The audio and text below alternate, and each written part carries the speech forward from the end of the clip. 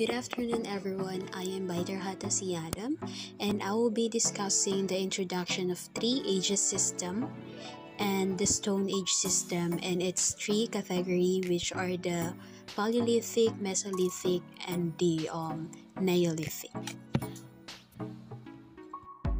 Starting with the ancient age, during the 19th century, the world prehistoric period was categorized into what we called three ages system.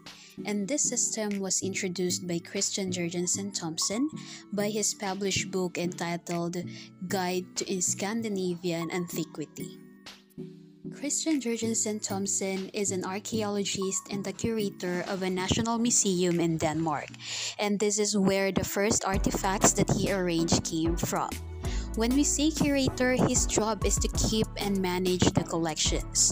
So, Christian Jurgensen Thomsen was an organizer in the museum. He arranged and sorted out the collections and exhibits in timely manner. When he was young, he was only into collecting coins and arranged it by year or from the oldest coins to the newest coins. And since he came from a merchant family or a wealthy family, he was also known in the industry and after that he was recognized by the Royal Commission for the Preservation of Antiquities as a secretary for his excellent knowledge in history and arts and also for being a well-organized person. Upon fulfilling his job as a curator, he was able to differentiate and categorize each collection or artifacts based on its materials and based on how it is by its physical appearance. So he divided it into three the Stone Age, Bronze Age, and the Iron Age. Artifacts made from stone is classified under the Stone Age. Weapons are tools made from alloy of copper and tins are under Bronze Age, while collections made from melted iron, steel, and other metals are from the Iron Age. So let us first discuss the Stone Age and how it was subdivided into three. Since the entire Stone Age is a long period, its dating system is ranging from 2.5 million years ago up until 3000 years before Christ. According to Christian Jurgensen Thomsen, Stone Age is the period of time before a society had a widespread access to metal tools and weapons. From the word stone, most of the tools or weapons used by the oldest humans were made out of stones or rocks.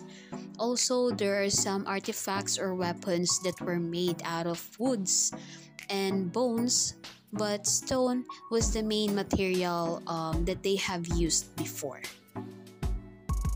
In the year 1865, John Lubbock was an English banker and an archaeologist just like Christian Thomsen. And he is the one who classified Stone Age into two, namely the Paleolithic or Old Stones and Neolithic or the New Stones. According to John, Paleolithic was described as the period where man shared their possessions and they are living together with the wild animals. While Neolithic was described as where the artifacts and weapons are polishedly made and beautifully made. In his book, he also stated that there are no traces of knowledge of any kinds of metals. Instead, there are traces of gold as an ornaments. In the year 1883, Gabriel de Mortillet is a prehistorian who suggested that there are weapons or there are still weapons and tools that were classified in between the Paleolithic and Neolithic. It was later on called as Mesolithic or Middle Stones by John Allen Brown in 1892. In 1892, John Allen Brown termed the late Paleolithic and early Neolithic as Mesolithic or Middle Stones.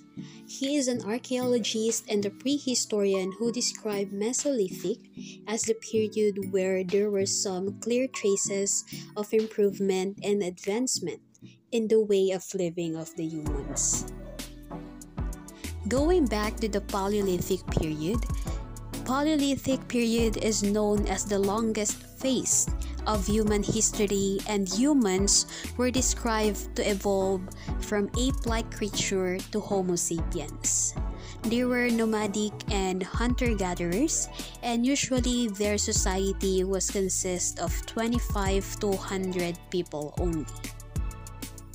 It was also divided into three Lower Paleolithic, Middle Paleolithic, and Upper Paleolithic period, wherein each period there were some clear traces of advancement and development. So, first, for the Lower Paleolithic, humans typically used stone for food hunting only. During the Middle Paleolithic, stones were also used for creating fire.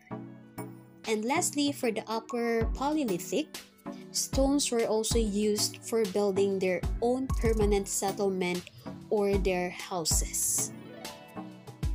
The second subcategory of Stone Age is the Mesolithic period. This is where tools were handmade and materials can also be found in nature. They learned how to use bow and arrows as well as boats for fishing. They have the same habitation as um, Paleolithic period, and usually they live in caves or huts near to lakes and rivers. Their society definitely expands from a small band to a tribes consisting more than a hundred people because during Paleolithic Society was um, divided only into bands and they are usually composed of 25 to 100 people, but for Mesolithic, they are consist of more than 100 people. So the third subcategory of Stone Age is the Neolithic period or the New Stones. This is the period where cultural and technological advancement was based on agricultural they started to grow different kinds of crops like rice, corns, beans, and other crops.